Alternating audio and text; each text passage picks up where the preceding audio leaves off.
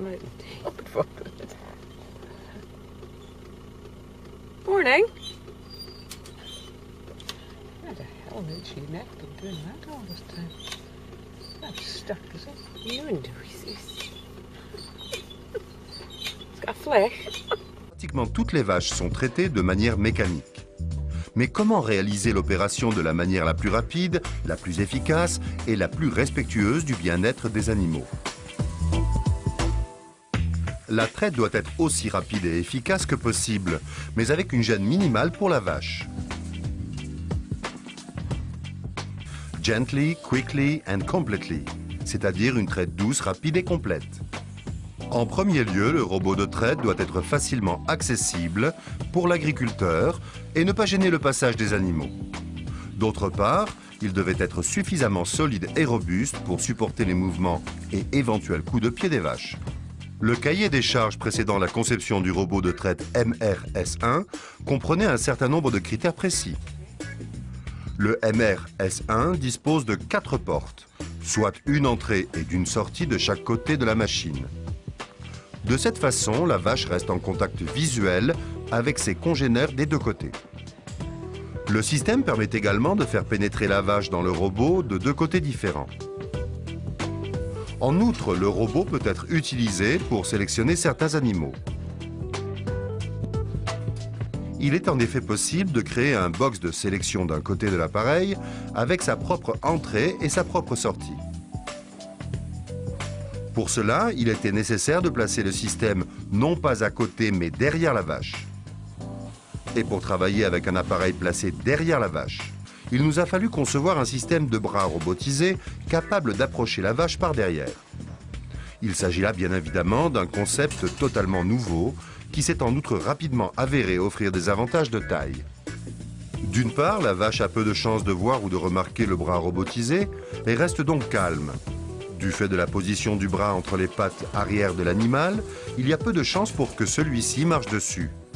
Par ailleurs, le bras ne doit plus effectuer de mouvements rotatifs, ce qui rend la construction considérablement plus solide et donc plus efficace. Le processus de traite fonctionne de la manière suivante. La vache est libre de déterminer elle-même le moment où elle souhaite être traite. Grâce au transpondeur que porte chaque animal, le système d'identification du MRS1 reconnaît la vache entrée dans le box de traite et détermine grâce aux informations contenues dans sa base de données si la vache est en effet prête pour la traite. Si ce n'est pas encore le cas, la porte s'ouvre et la vache quitte tranquillement le robot de traite. Si c'est bien le moment de traire la vache présente, le système dispense de lui-même une quantité appropriée de nourriture dans le bac prévu à cet effet. La nourriture est proposée de manière dosée afin que la vache ait à manger pendant toute la durée de la traite.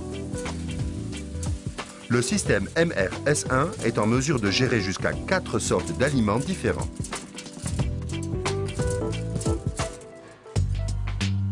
Le bras robotisé saisit ensuite le gobelet de pré-traite et vient se mettre en place en passant sous les pattes arrière de l'animal.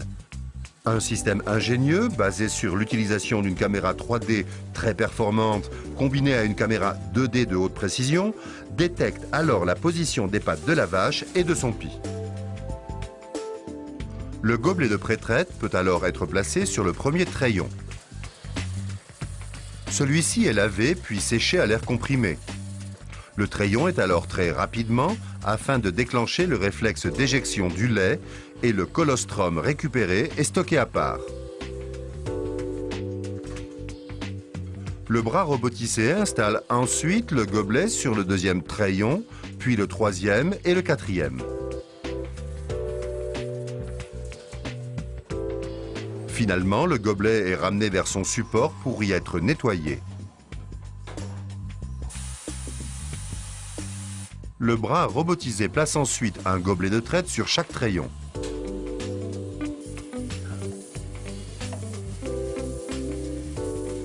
Puis il revient se placer dans l'unité de contrôle afin que rien ne puisse venir entraver les mouvements de la vache. Le MRS1 détermine pour chaque treillon le meilleur moment d'arrêter la traite. Les gobelets de traite se détachent alors automatiquement des trayons sans que le bras robotisé n'ait besoin de repasser sous la vache. Les gobelets sont ensuite lavés et replacés dans leur support fermé. Pour terminer, les trayons sont soigneusement désinfectés.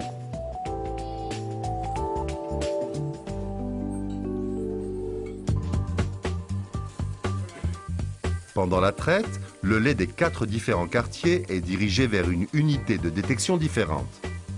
Cette unité mesure le flux de lait et sa conductivité.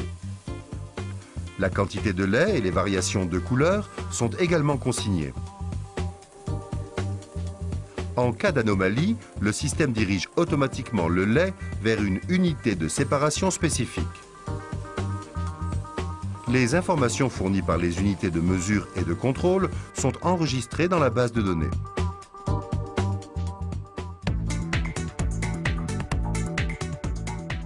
Les pompes, les cuves, les systèmes de mesure et de nettoyage et tous les autres agrégats techniques sont regroupés dans l'espace technique à l'arrière du robot. Grâce à l'installation de tout l'appareillage dans un espace fermé rattaché aux box de traite, le MRS1 n'a pas besoin d'être placé dans une salle spéciale. Le système est livré complètement prémonté afin que l'installation du MRS1 chez l'agriculteur ne demande pas plus d'une journée et afin de pouvoir déplacer le système rapidement et sans difficulté, le cas échéant. Ceci permet des coûts d'installation pratiquement nuls. Barmatics Robotics a par ailleurs opté pour un fonctionnement hydraulique. Le roto pour la rapidité et le confort. On est un seul à traire euh, les 90 vaches. On met à peu près une heure, une heure à quart avec le lavage, quoi, tout compris. Avant, on était à deux trayeurs et on mettait euh, deux heures le matin et le soir, euh, deux heures, deux heures moins le quart. Donc ça sûr qu'on gagne un temps, fou. Quoi. Le GAEC de la Champagne à IC est équipé d'un autorotor Global 90, 24 postes, équipé de compteurs allés Dématron 70, relié au système DMS 21. Dès qu'on a un moment, on jette un œil, on voit s'il y a une vache qui est en baisse de lait ou euh, qui s'écroche ou quoi que ce soit. On a la conductivité en plus de ça. Euh, des fois, euh, un taux cellulaire différent. C'est pas forcément accessibilité de la mamelle, car l'animal peut s'approcher au plus près du trayeur. Sur un autorotor très extérieur, l'entrée est directe des animaux. Ils effectuent leur rotation et ils disposent à la fin de trois places pour sortir. Cette sortie s'effectue par une marche arrière de l'animal. Dès l'instant que l'animal est libéré d'hélice arrière, il sent le vide et il cherche à reculer, donc à sortir.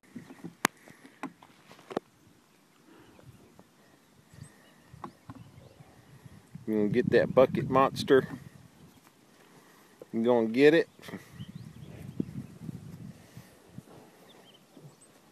Monster.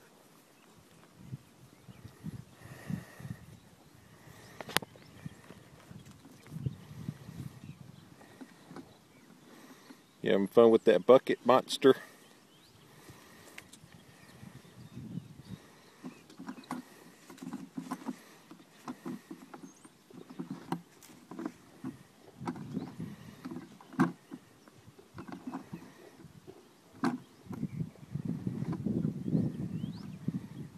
Topaz has courage. Go get it, monster.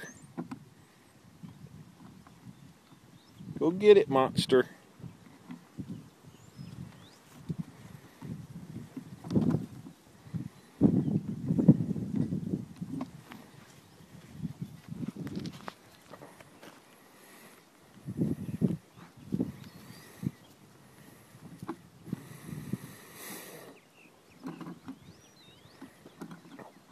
Now you getting courage.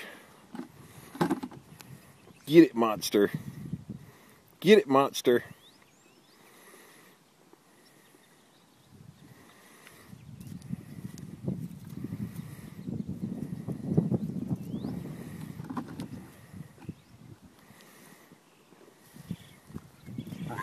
No, Topaz, don't you hit me.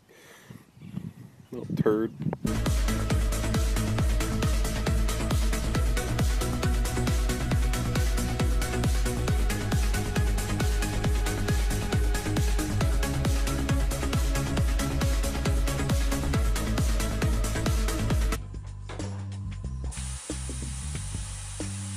Le bras robotisé place ensuite un gobelet de traite sur chaque trayon.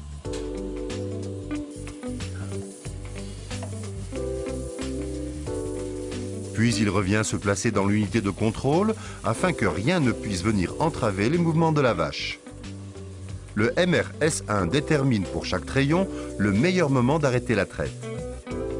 Les gobelets de traite se détachent alors automatiquement des trayons sans que le bras robotisé n'ait besoin de repasser sous la vache. Les gobelets sont ensuite lavés et replacés dans leur support fermé. Pour terminer, les trayons sont soigneusement désinfectés.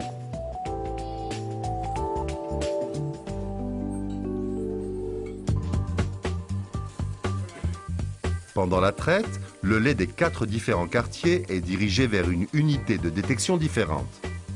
Cette unité mesure le flux de lait et sa conductivité. La quantité de lait et les variations de couleur sont également consignées. En cas d'anomalie, le système dirige automatiquement le lait vers une unité de séparation spécifique. Les informations fournies par les unités de mesure et de contrôle sont enregistrées dans la base de données.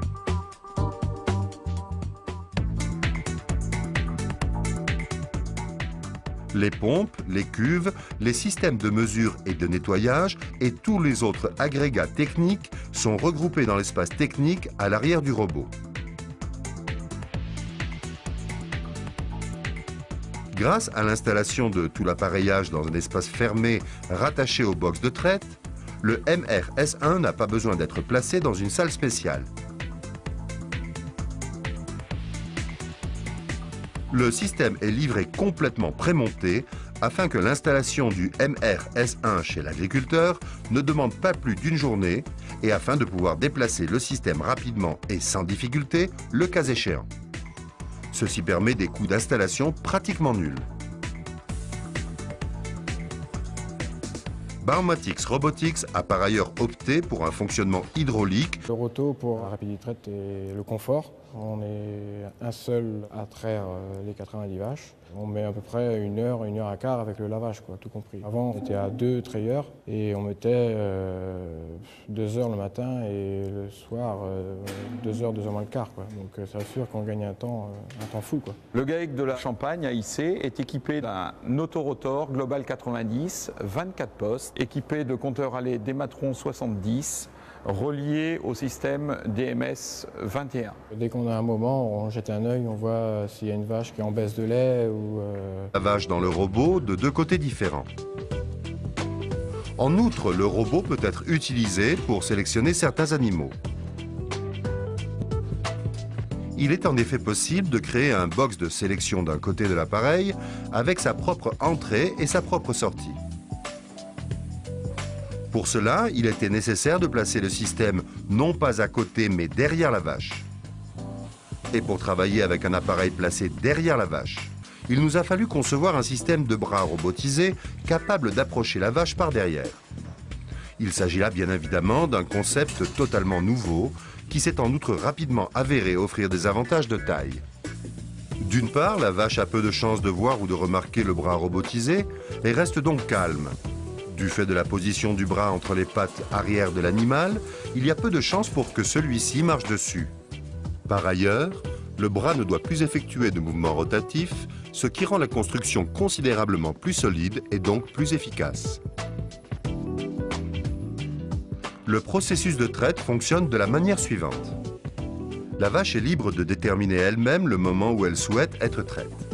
Grâce au transpondeur que porte chaque animal, le système d'identification du MRS1 reconnaît la vache entrée dans le box de traite et détermine grâce aux informations contenues dans sa base de données si la vache est en effet prête pour la traite. Si ce n'est pas encore le cas, la porte s'ouvre et la vache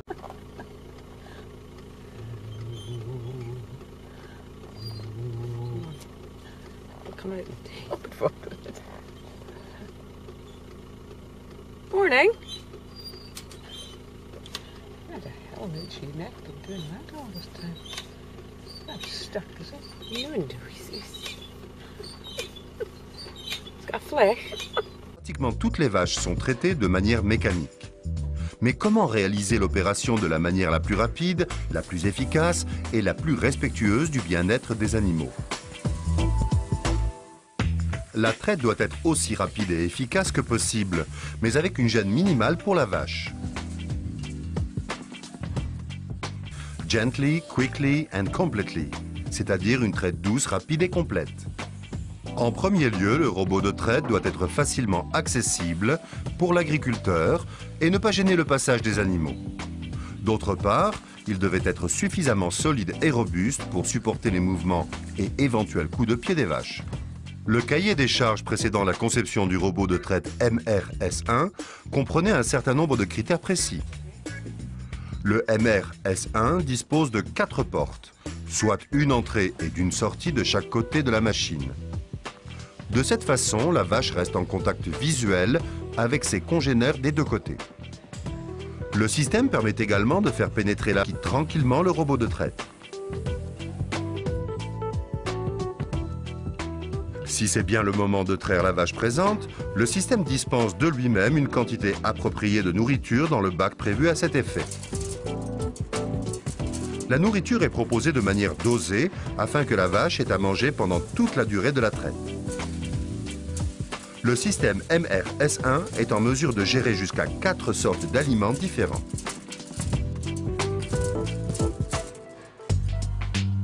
Le bras robotisé saisit ensuite le gobelet de pré-traite et vient se mettre en place en passant sous les pattes arrière de l'animal. Un système ingénieux basé sur l'utilisation d'une caméra 3D très performante combinée à une caméra 2D de haute précision détecte alors la position des pattes de la vache et de son pis. Le gobelet de pré-traite peut alors être placé sur le premier treillon. Celui-ci est lavé puis séché à l'air comprimé. Le treillon est alors très rapidement afin de déclencher le réflexe d'éjection du lait et le colostrum récupéré est stocké à part. Le bras robotisé installe ensuite le gobelet sur le deuxième treillon, puis le troisième et le quatrième. Finalement, le gobelet est ramené vers son support pour y être nettoyé.